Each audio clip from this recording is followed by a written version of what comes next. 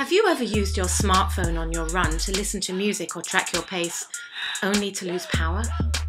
Nothing spoils a run, a bike ride, an evening walk, or a trail hike like watching your battery drain. At best, it's frustrating and a motivation killer. At worst, you're out of luck if you need to reach out for help. What if you have the power to change that? Well, you do, literally. Bodies create kinetic energy when we move. So, what if you could harness it to charge your smartphone? You can.